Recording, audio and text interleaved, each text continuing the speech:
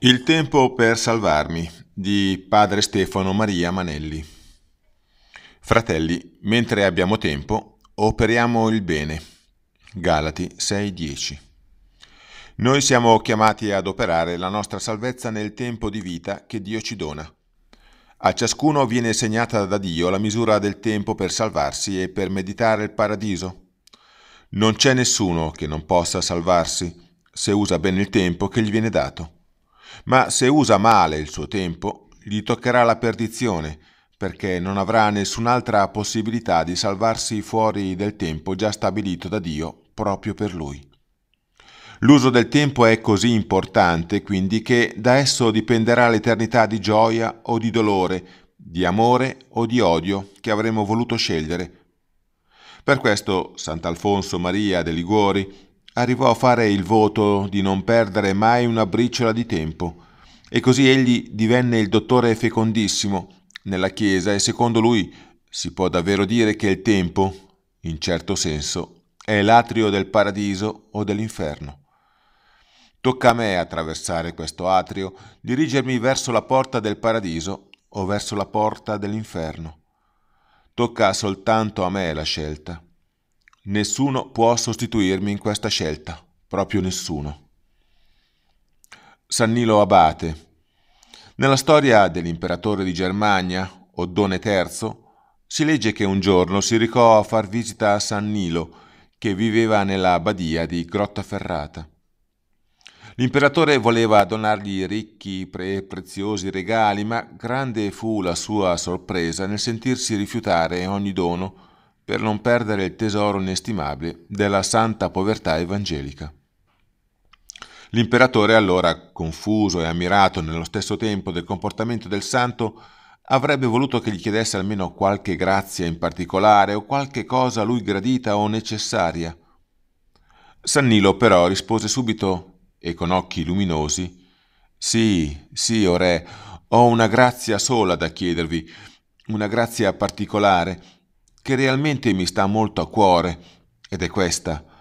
Dovete pensare spesso al vostro ultimo fine. L'imperatore Oddone III, ancora giovanissimo d'età, promise di sforzarsi di pensare alla salvezza della propria anima e difatti tenne una condotta davvero esemplare. Di lì a poco, colpito da gravi malanni, il sovrano moriva, trovandosi con l'anima santamente disposta e ricca di meriti per le opere buone compiute in vista dell'incontro con Dio. Come usiamo il tempo noi? Quanti di noi usano bene il tempo pensando al dovere primario della salvezza eterna? È una domanda non oziosa questa. In realtà, difatti, non è forse vero che spesso lasciamo assorbire tutto il nostro tempo di ogni giorno da cose soltanto terrene e sciocche, non raramente da cose pericolose o anche peccaminose. Oggi specialmente, con tutte le occasioni di peccato a nostra disposizione. Si dice molto spesso di non avere un po' di tempo per le preghiere al mattino e alla sera, per la recita di un rosario, per partecipare a una santa messa o per la visita a qualche ammalato, a un bisognoso, a un povero. Si dice di non avere tempo e intanto si sciupano ogni giorno ore e ore di tempo per gli spettacoli televisivi o cinematografici, per leggere giornali, per divorare fumetti e romanzi, per fumare e chiacchierare con gli amici al bar, per le strade o allo stadio.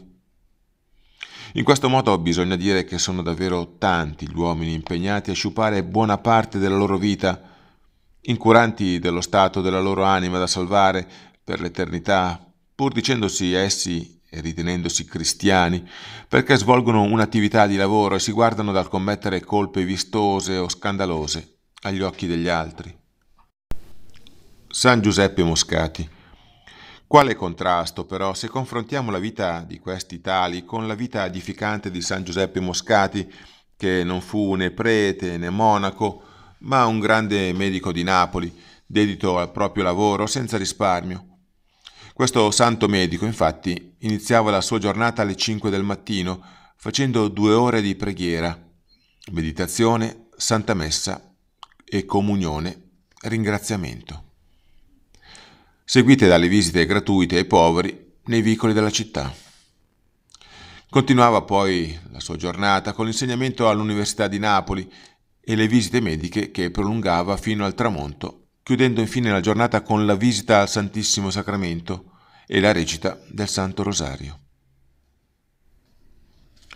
Alessandro Volta Un altro scienziato, Alessandro Volta, oltre che grande studioso, fu non meno mirabile catechista volontario nella sua parrocchia di Como, tutto il suo tempo libero egli lo consacrava realmente ad operare il bene, di catechizzare i bambini. Per questo sulla lapide della chiesa parrocchiale si legge Qui battezzato, Alessandro Volta si preparò con la scoperta della pila e facendo il catechismo ai fanciulli a rinnovare la faccia della terra. Ecco due veri cristiani, laici professionisti, San Giuseppe Moscati e Alessandro Volta, i quali alla scuola di San Paolo Apostolo realmente e quotidianamente operavano il bene mentre avevano tempo, aiutando il prossimo e edificando tutti i cristiani. Santa Gianna Beretta Molla. Lo stesso potrebbe dirsi di una mamma di famiglia come Santa Gianna Beretta Molla e di due coniugi, genitori come i beati Luigi e Maria Beltrame Quattrocchi, e di altri due coniugi, i servi di Dio Settimio Manelli e Licia Gualandris, genitori di 21 figli. La salvezza dell'anima e la santificazione si operano nel tempo che Dio ci dona, spendendolo bene nel compimento fedele dei propri doveri quotidiani. Non valga assolutamente per noi il programma insensato che si trova scritto in una enciclopedia della vita pratica di diversi anni fa, secondo cui un uomo che viva 70 anni Occupa così il suo tempo, tre anni all'istruzione, otto anni alle distrazioni, tre anni alla toeletta, sei anni ai pasti, cinque anni al camminare, tre anni alla conversazione, un anno a servizio militare, undici anni al lavoro, sei anni alla lettura e 24 anni al sonno. Per la vita spirituale, per la preghiera, per l'anima, per il Dio, nulla, secondo questa enciclopedia. Che razza di vita umana è mai questa?